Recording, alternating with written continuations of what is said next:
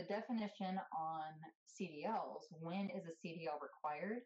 The CDL is required at 26,001 pounds or more. So that's either interstate or intrastate, it doesn't matter. Once it hits 26,000 pounds, that's whenever a CDL is required. Now, like I said earlier, um, check with your state because there are a few states. We're gonna I'm gonna have a slide that shows a couple of the states and what their their actual rule is. But um, check with your state just to ensure that your driver doesn't need maybe a Class E, Class F, Class D license.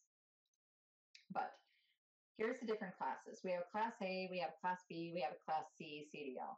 So the Class A CDL, and a lot of you have probably seen the Class A CDLs. The Class A CDLs is gross combination weight rating of 26,000 pounds or more, 26,001 pound or more, provided the vehicle being towed is in excess of 10,000 pounds, greater than 10,000 pounds.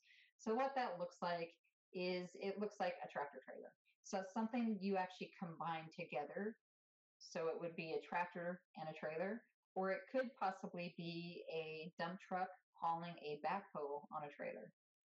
That backhoe on a trailer is probably over 10,000 pounds, so at that point they would need a Class A CDL. It could also be a pickup truck pulling a gooseneck, even if it's empty, because the gross vehicle weight rating says it's over.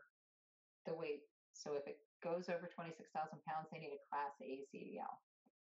So, like I said, that could be a tractor trailer, tractor trailer. It could be a pickup, dually pickup pulling this. Three axles, pretty sure I can almost guarantee you that this load right here is over 26,000 pounds.